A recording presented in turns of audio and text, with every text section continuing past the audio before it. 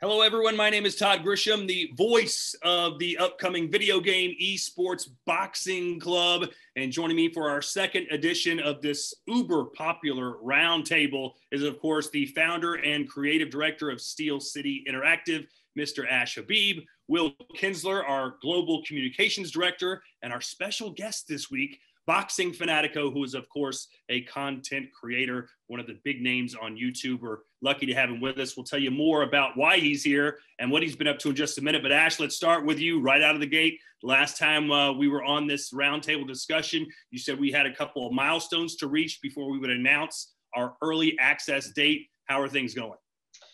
Uh, thanks for that, Todd. Things are going uh, really well, uh, on, on, on track, on schedule. Um, there's still obviously a lot of work uh, that's taking place behind the scenes. But um, you know, since the last roundtable discussion, um, we've we've got to a position where uh, a multiplayer milestone has been achieved, uh, which we're relatively pleased with. Um, and we also carried out a focused playtest uh, where we invited uh, some members of the public to to essentially test and play the game, um, and uh, providing us feedback with how that went. So yeah, since since the last roundtable, I mean, there's still a number of milestones to go, um, but but so far it's a case of uh, yeah, so far so good.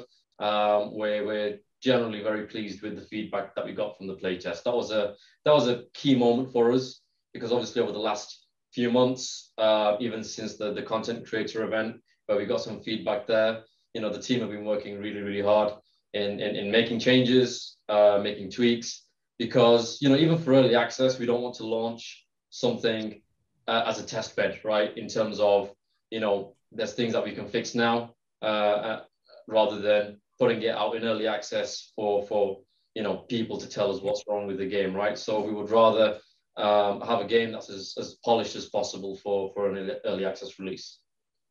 As far as that test went what were some of the you said you got a lot of feedback. What were some of the, the, the positives that you heard and some of the things that weren't as great yeah, I mean, look, the, the, the key thing for us, uh, literally from, from day one, was about uh, the actual boxing mechanics, right? So, so taking visuals aside, audio aside, everything else, for us, it was all about the core mechanics of the game. Um, and, you know, as I think most people know, punches uh, and animations um, and the impacts were, you know, was always an area that we've openly said is something that we're, we're you know, we're not completely satisfied with. Um, and you know, the play test showed some very good scores in, in, in, that respect in terms of how the punches felt, the combinations. Um, and one of the things that I, I really wanted to get across in, in, in our game is just the feeling of being hit, right? And and and you know, transferring that from screen whilst you're playing the game. Um, and that's a very difficult thing to actually achieve. Um, but but that was a, a moment I think we were pretty satisfied with in terms of the feedback, in terms of you know how the the haymakers felt. Um, obviously, you know there was there's some balancing issues that we've got iron out, right? So there were things in terms of you know stamina.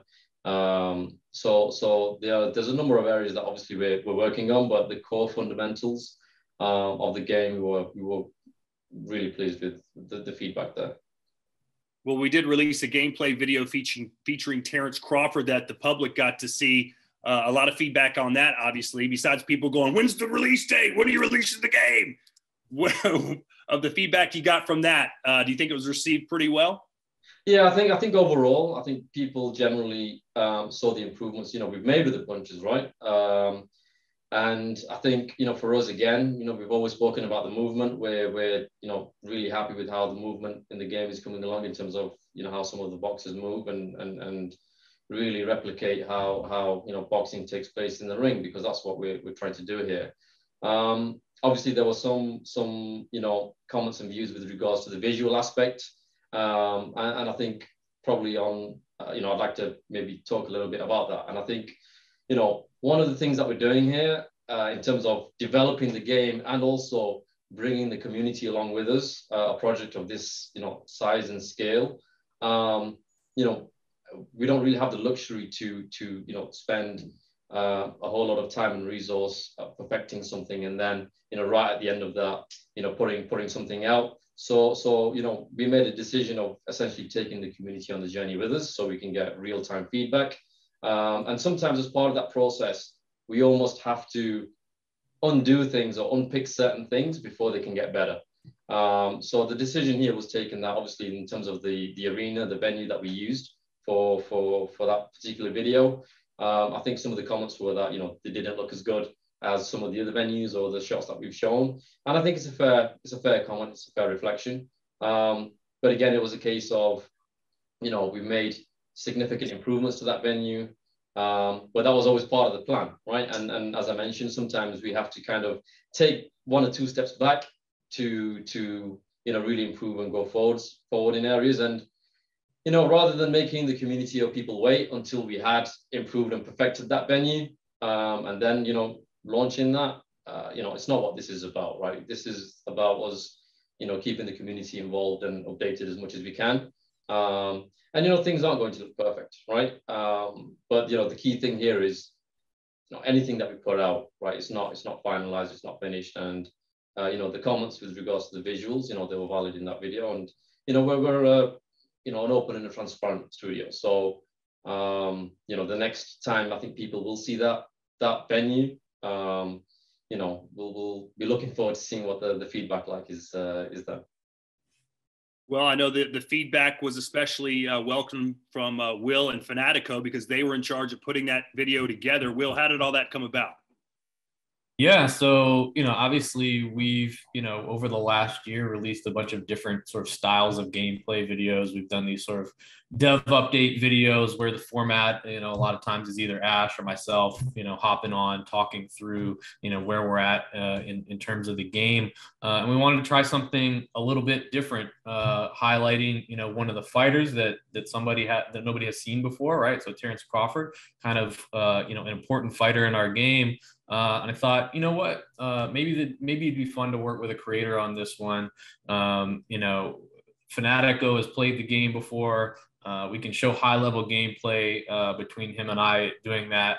Um, and also, you know, watching his videos, I know that he has a creative flair, has a you know ability to come in and and add something uh, unique to the video. So it was fun to have him come out. Uh, he was here for about five days. We worked on the video we played a lot of, of, matches obviously during that time as well um, and yeah it was a great time and it was a fun collaboration and i'm, really happy with how that turned out fanatico take me through that process of when you got the call i know you'd been there in march for the uh, the creator event how did the game play compared to then take us through the whole process yeah. Um. I, well, yeah. Will gave me the call, and he told me if I would be interested in this, and uh, of course, it was a no-brainer to me. I was like, yeah, I'm 100% interested uh, in doing this.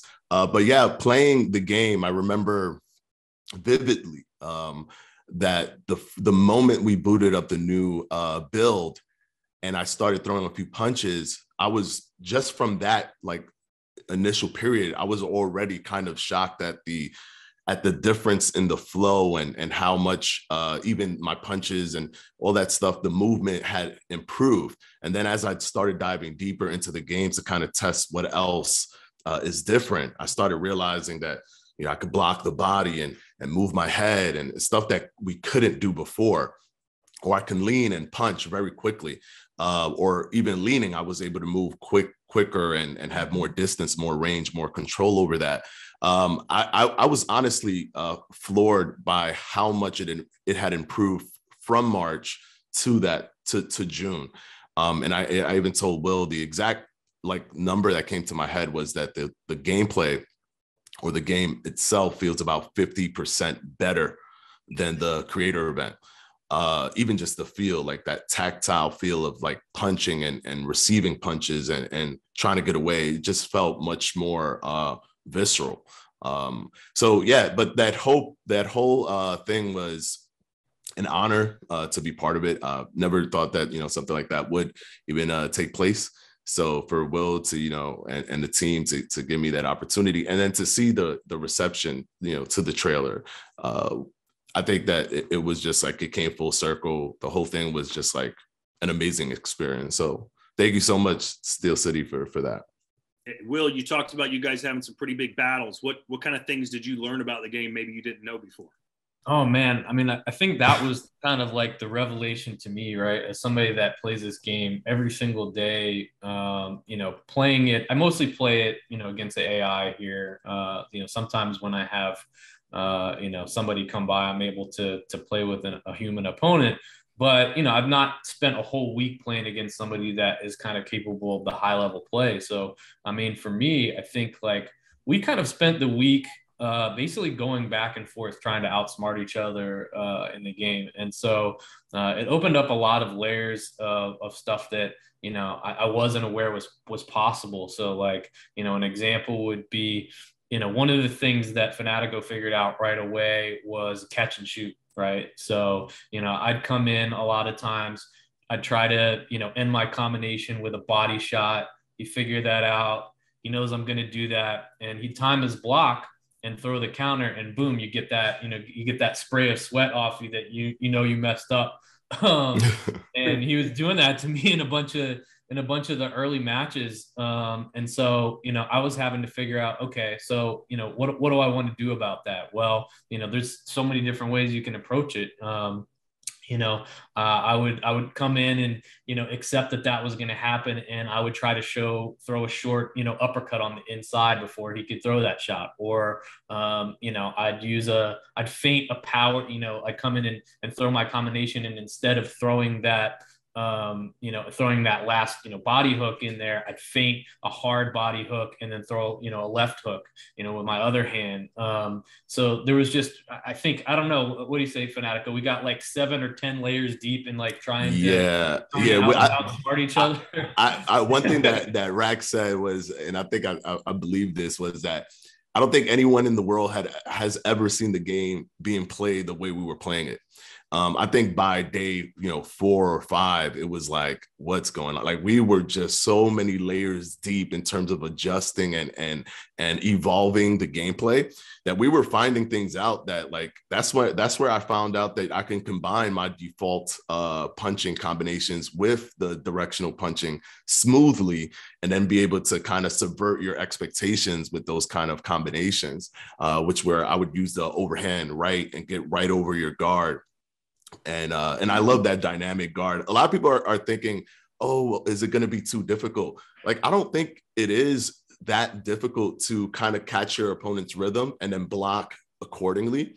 Um, I think you were able to do that to me. I was able to do that to you. I think yeah. maybe like you know a casual player may not be able to just pick it up right away, but I think more experienced players can can uh, you know take a get a grasp of that type of uh, defense. Yeah, I do think that's an area where you know it, it helps to you know have that knowledge of boxing where you know kind of the order and the, the punches that are they're going to come back towards you, right? Um, you know, I think I think for me like one of the stories was like basically that that of the week was that like it didn't feel like the fights played out the same, right? It's like when somebody would make an adjustment, it's like I spent a whole fight, you know, uh, one time you know, just trying to understand when I thought Fanatico would throw a shot and I would try to hit him first, right? Um, and that was like for that whole fight, that was like the thing I had in the back of my head. Can I do this? Um, you know, I had other fights where I was just trying to. I felt like he was throwing the bigger counters, and so I'm like, well, I don't know if I'm going to be able to match him there. So I'm gonna, I'm just gonna try to touch him with light shots whenever I can, right? I'm gonna double the jab. I'm gonna throw, you know, I'm gonna throw in between his his counters. I'm gonna, you know, as we exit in the exchange, I'm gonna just try to touch him one more time, you know, stuff like that. Um, and yeah. so, yeah, we, we just had things just played out totally differently based on what we were learning. Yeah, and one one thing that that frustrated me from the beginning because like I wanted to be that guy, I just wasn't. Your jab, you always was out jabbing me and it was yeah. driving me nuts because I wanted to be the jab guy. I wanted to be the guy that could play on the outside on you, but you you you just you threw that out the window for me. So I had to come up with so many different ways of engaging you because you will always out jab me. I can't just try to jab you because you would probably get it out first or do a side step jab or something that was like you know like was gonna mess me up so that's when like the catch and shoot i even evolved that to timing it you know to to to the head and the body to, to make it even more confusing for you.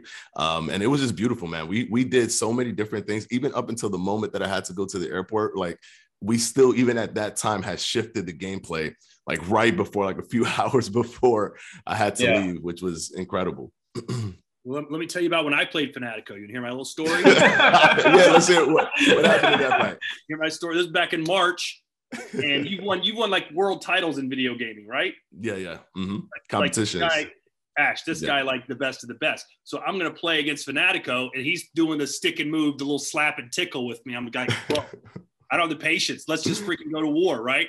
All right, fine. Boom, boom. I get some shots in. I'm doing pretty good. And he, you know, he eventually grinds me down and beats me. But I was like, man, I was hanging with the world's best. I walk around the corner and Showbiz, one of the other shout out to Showbiz. Showbiz is there, and I hear them talking. And Showbiz goes, I mean, Showbiz goes, man, he was touching you up, or were you letting him? He goes, oh, I was just toying with him. I was letting him get. I was like, geez, a lot.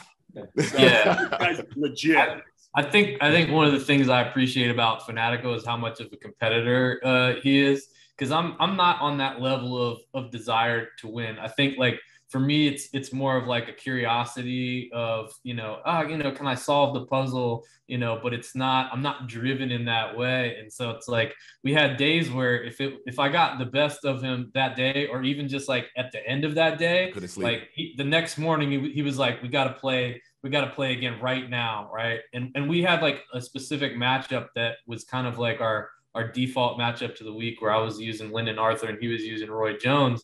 And that it that kind of became the standard for like where are we at right now? Who's mm-hmm. who's got the advantage um, so that we could could go back to that fight and see where where we stacked up. But one of the reasons why that became the standard was because a lot all the fighters felt different. Like I, I remember I played with Adelaide and I loved how Adelaide, you know, fights. And I was actually kind of shocked too that he had all like his punches from the uh from the March trailer that was really cool, like the looping kind of body hook and stuff. So like it just I wanted that I wanted that same ground so we could always check to see because maybe I, am better with Adelaide than you are with uh you know Tyson Fury or something and and things like that. So I wanted always to have that same ground.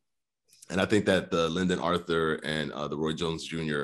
like that was the litmus test. If if I won, consistently, then I'm better right now. and if you won consistently, then you're better at that. Let me moment. ask everybody this: you only get one answer. All right, Ash, who overall in the game looks everything. Who is your favorite character so far in ESBC? One fighter. Tyson Fury. Tyson. Will. Conor Benn. Fanatico. Roy Jones Jr. I like Deontay Wilder. That's great. Four different fighters. That's awesome. hey, one thing, Ash, that uh, I was wondering about how's the judging going? I know that's got to be a little difficult. Are they relying strictly on like CompuBox numbers for who gets the decisions?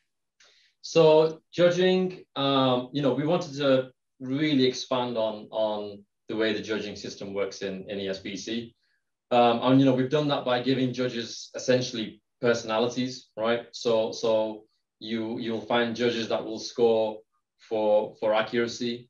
You'll find judges that will score for the big shots, right? The more eye-catching shots. Um, you'll have more balanced judges that take everything into account. Um, and there's you know one or two other scenarios in there the, with with regards to how the judges um, can score. And you know what we found based on the feedback uh, is that it's, it's working out pretty well. Um, I mean, you know, during the fight, a, a predictive scorecard comes up, right, where uh, you know it might be a commentator's view in terms of how the spike is being scored, but that even that there's a good chance that that'll be that'll be different from the actual final scorecards. Um, so yeah, we, we wanted there to be a question mark in terms of scoring, right? Uh, as is the case, I think we can all agree on in in boxing.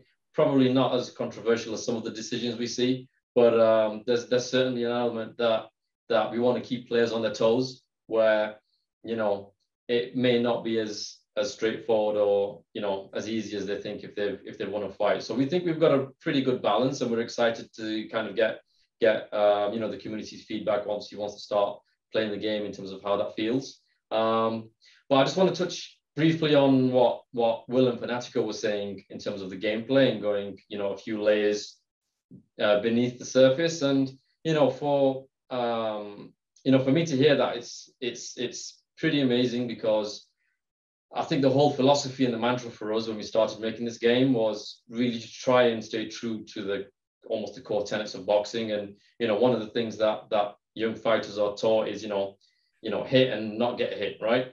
And and and that was one of the the key driving factors in terms of our movement system, right? Because we, I just always felt like you know, in in combat games, it was almost you know about hitting the other person or, or kind of turning into a bit of a slugfest and I think I think you know saying we want to make a game where it's based around hitting and not and not getting hit is probably easy to say.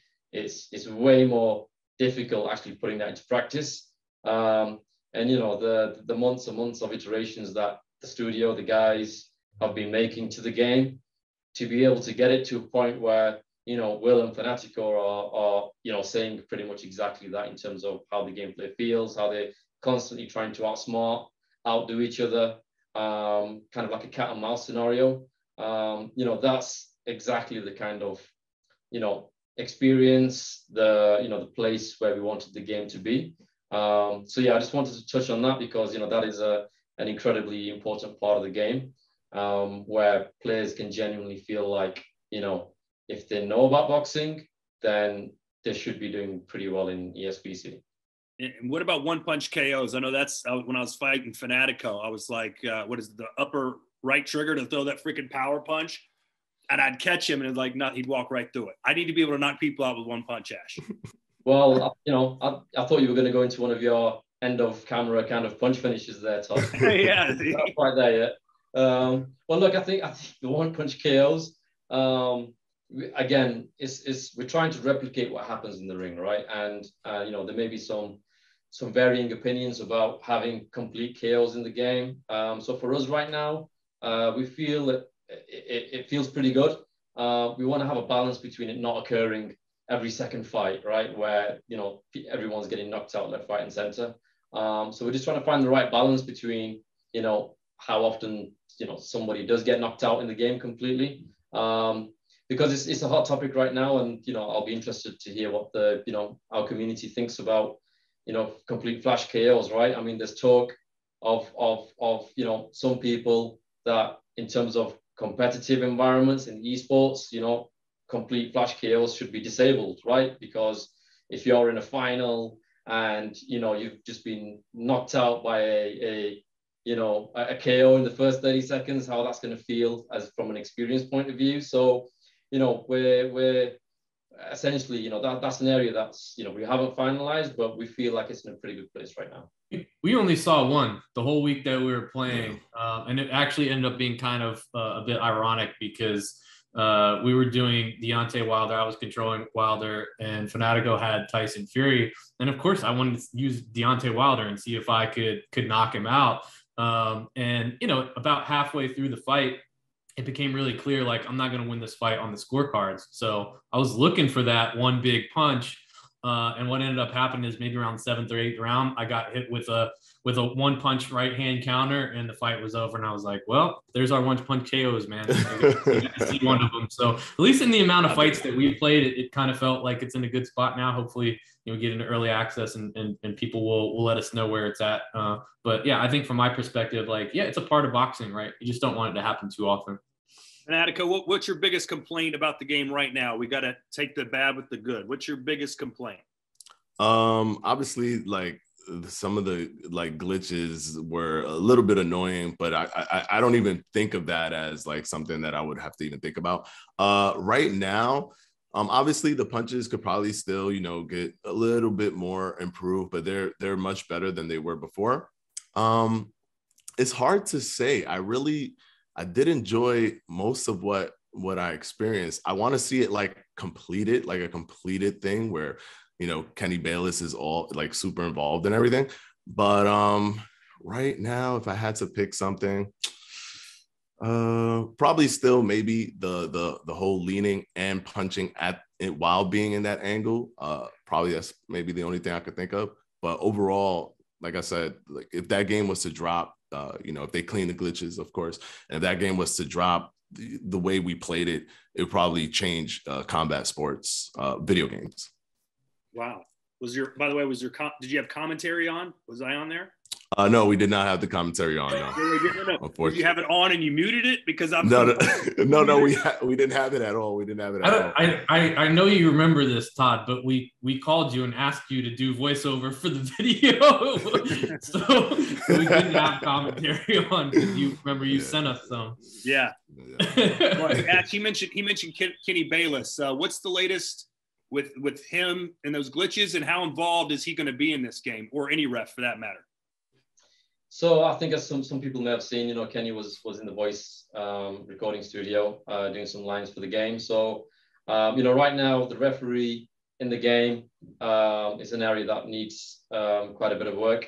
So, so we're not we're not satisfied at the moment um, in terms of how the referees uh, working right now. But in terms of interactions, you know, there'll be um, referee coming in to you know take points deductions off uh, you know, illegal blows through to checking a fighter's, you know, cut or checking a fighter's, you know, his eye or her eyes closed with bruising. So there will be, you know, um, some significant referee interactions. Um, and obviously a lot of that requires, you know, quite a lot of work from the team.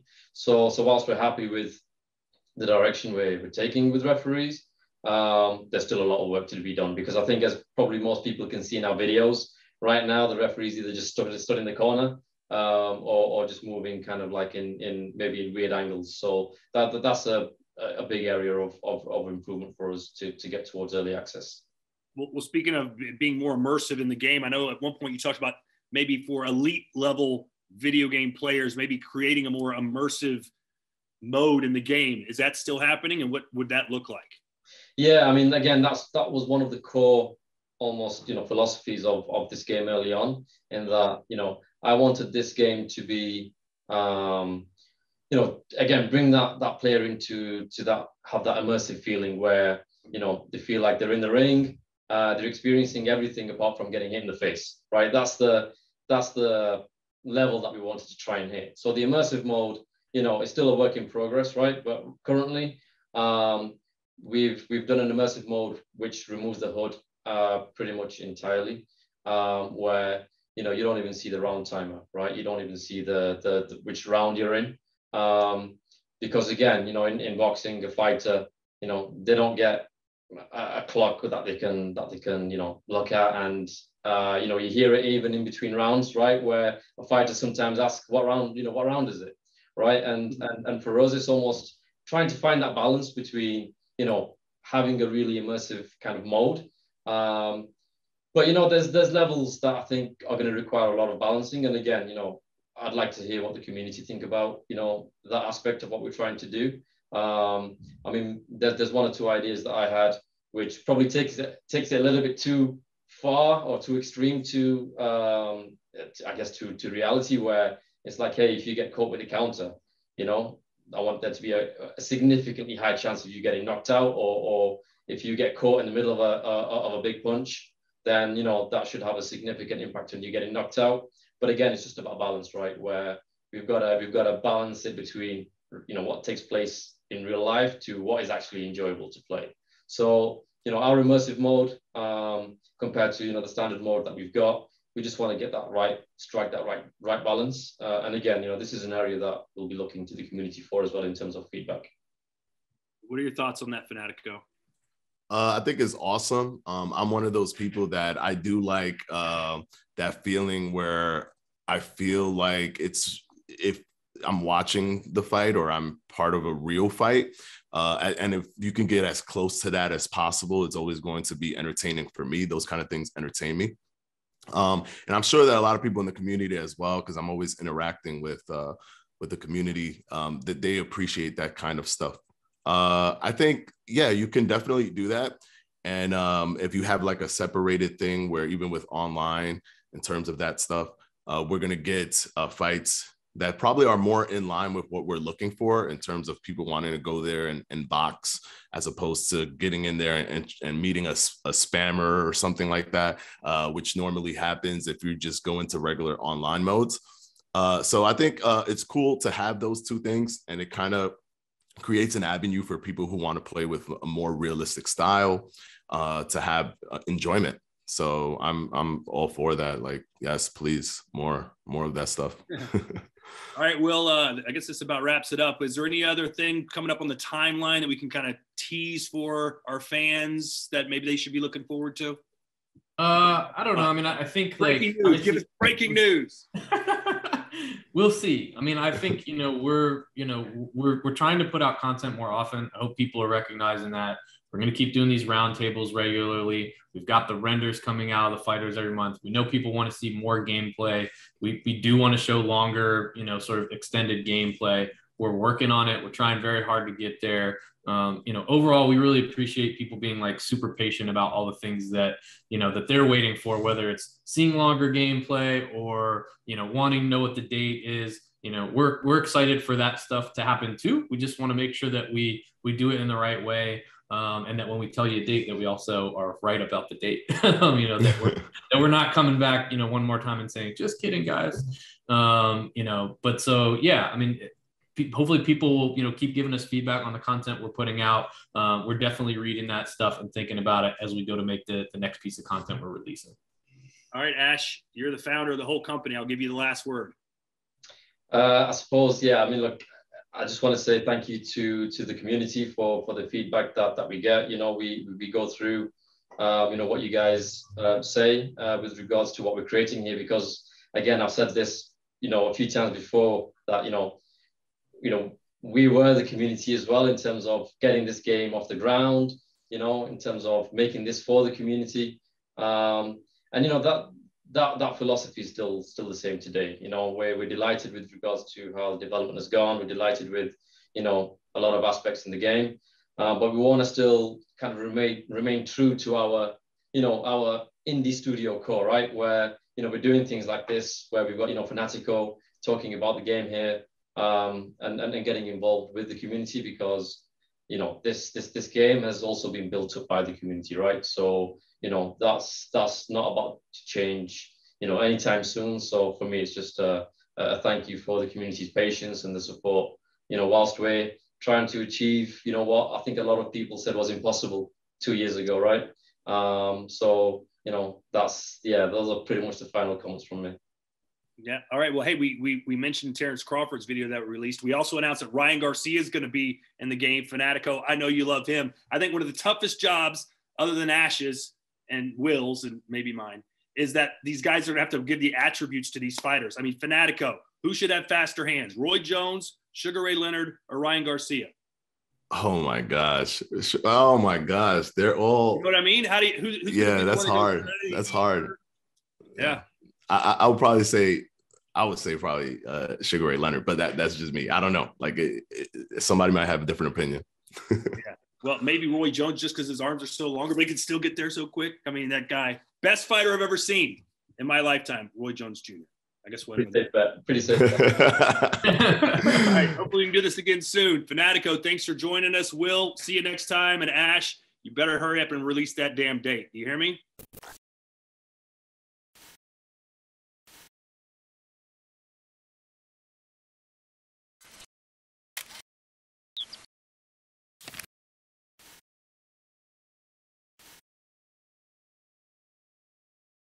I can't. I can't beat the damn computer I played last night. I can't win. you can't. Uh, no, computer is actually was pretty hard. It was kicking my butt day one, but then I was I, kicking I'm not even on pro. I'm on like amateur.